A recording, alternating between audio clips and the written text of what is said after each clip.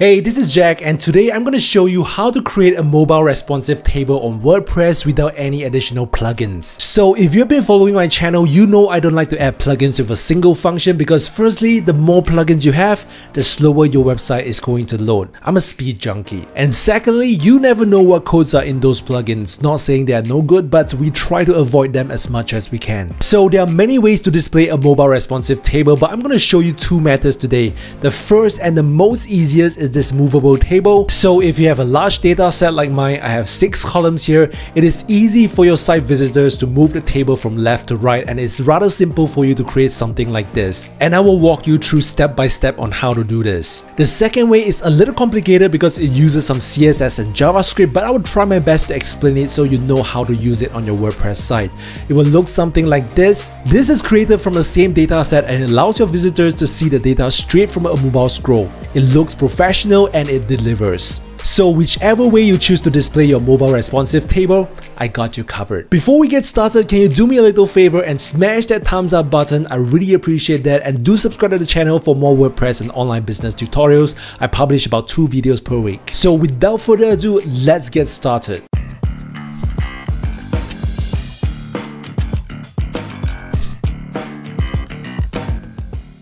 So I'm on a WordPress editor and I'm creating a new blog post and I need to import a data like this onto the WordPress editor using tables. So there are a total of 7 columns here and about 11 rows if I'm not wrong and these data were taken from one of my missions to find the fastest WordPress theme. So if you're interested to know which is the fastest WordPress theme for your online business, you can check out the video that is popping up on the right, but don't watch that first. I know it's a little off topic. You're here to learn how to create a mobile responsive table. So I've left the link to the speed test in the description, so you can visit that later. So what we want to achieve in this video is to put this table onto the WordPress editor and the first thing we need to do is to click on this add block we can see it here. And if you can't see this table option, you just need to search for table and this will show. Click on that. Now for my case, I have 7 columns and about 11 rows. But for your case, it might be different. And if you don't know what's the answer yet, you can just put in any numbers. You can add or delete columns or rows later on after you have created that table. I will show you how in a while. So let me create this table. So there are a total of 7 columns and 11 rows here. And if you look over to the right, there is this table settings. You can add a header section and as you toggle this, you'll see this section appear. And for example, if I want the footer section as well, if I toggle this, you'll see this appear here and then you can play around with the styles. There are not many options, so the other option you have is just the stripes, or by default it looks like this. And if you want to play around with the colors, you can change this background color to either of these colors. If you don't like either of these colors, you can just clear it off and it becomes white. It is not the nicest table you're gonna create, but our main purpose of the table is to deliver information. So I don't think we need to focus too much on the styles. So for now, let me put this side by side and let me add the data in, and then we'll work on a mobile responsive table. So let me fast forward this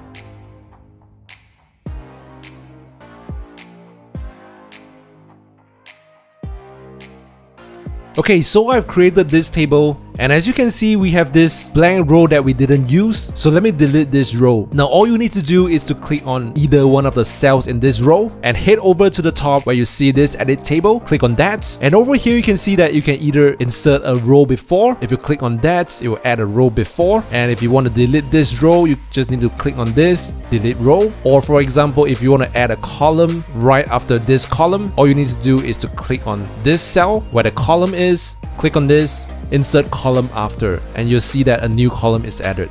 So we don't need this, let us delete this column and let us delete this row. So we basically have this here. Let me show you how it looks like on mobile. So let me publish this first. So this is published. Let me copy this link and open up to show you how it looks like on mobile. So this is basically how it looked like on an iPad or something similar. And if I reduce the size down to how it looks like on mobile, you see that the data is being squeezed to the end. And like for example, this space is actually being pushed down. And by default, the table block allows you to have this movable data, which is actually very good. But let us design this a little bit to make it look nicer. So what you need to do is to go back to your WordPress dashboard, under Appearance, click on Customize, and then go to Additional CSS, you want to paste this code in. And let me explain a little how does this work. Let me publish this first. and let's refresh this. And you can see that the data is being organized quite nicely. Now let me try to explain to you a little bit about HTML codes. So if we go back to the post and we click on this more options, if you click on this edit HTML, you see a bunch of codes like this. Now let me put everything in place first so that it's easier for me to explain.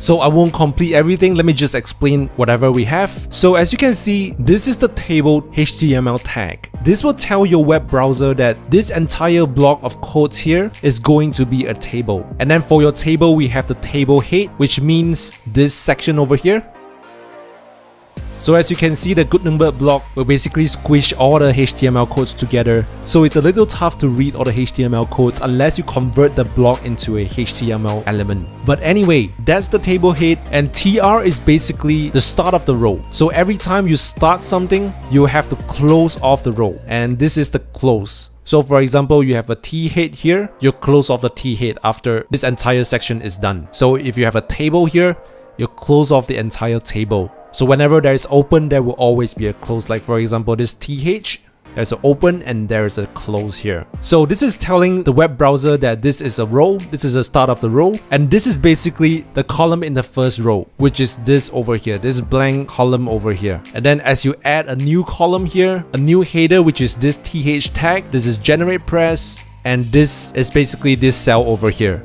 So this is TH and if you go to the customizer, you'll see that TH, white space, no wrap. So before that, as you can see over here, this Astra WP, before we have this no wrap code, this WP is actually being squished down to the next line. And if you add this no wrap code, it will basically not push this space WP down. This is for the TH tag, which is the header tag for the table. And as for the TD, is basically for each of the cells over here. And if we go to the HTML code, so this is what happens you have the start of the row, which is start of the first row here. This is the first column of the first row, which is this data over here. And then you add another column within the first row here.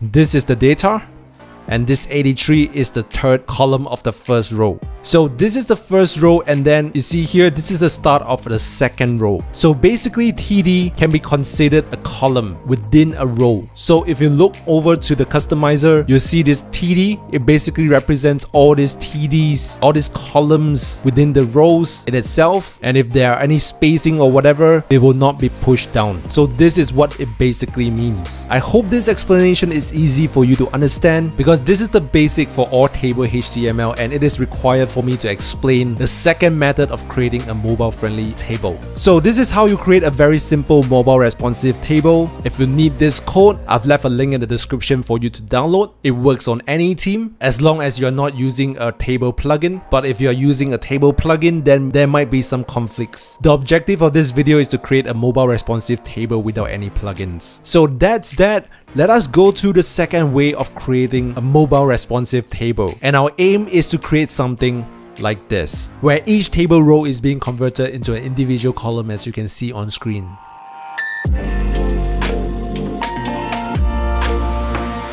So now let me show you the second way to create a mobile responsive table. And the first thing we need to do is to remove the additional CSS here and we'll replace it with something like this. Now don't worry, I know it's a little intimidating, but let me try my best to explain this in a while. And I've placed a link in the description for you to download this code. But let me first share with you what you need to do to use these codes. Now let me publish this first, and let me show you what changes have we done to this table. So let me refresh this. So now instead of a horizontal table, each row is now converted into a column. So basically this is the first row, this is the second row, and this is the third row and so forth, all the way to T number 10. And we have the average here. And this is not exactly what we want. As I've showed you earlier, we want something like this. So this is what you need to do on your WordPress editor. Let's go to the post where we have all the data here. And then let's click on anywhere within the table and we want to select more options and edit as HTML. So first thing you need to do for every TD, starting with the data, for example this 94, which is over here, we want to add GeneratePress here to show that this 94 belongs to GeneratePress. And then on the second line, we want to add Astra WP because this data refers to Astra WP on test number one, and the third goes to Blocksy and Kadence and so on and so forth. So what we need to do is to go to this column within the first row, which is this 94 over here. Within this TD, we want to space and add a line of text like this. Let me hit enter so it's easier for you to see.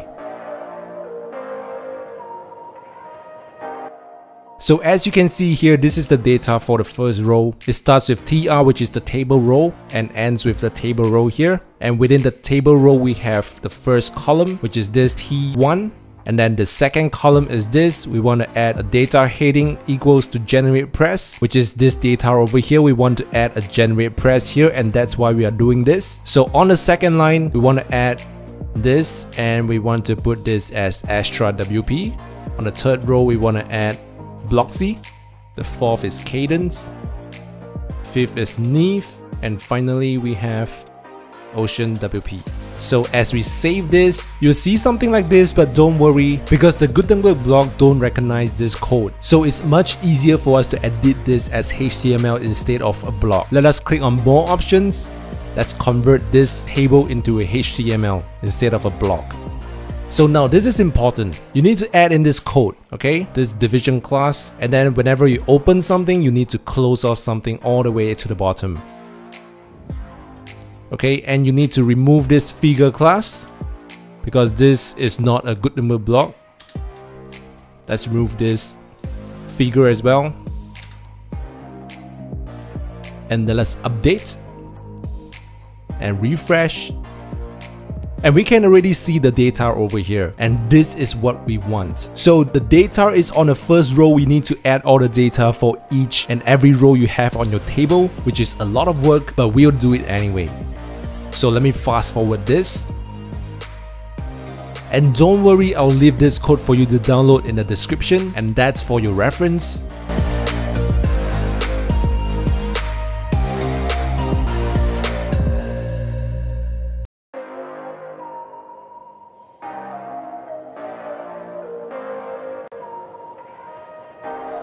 Okay, so we are done with the data, so let us update this and refresh and we can see all the data here.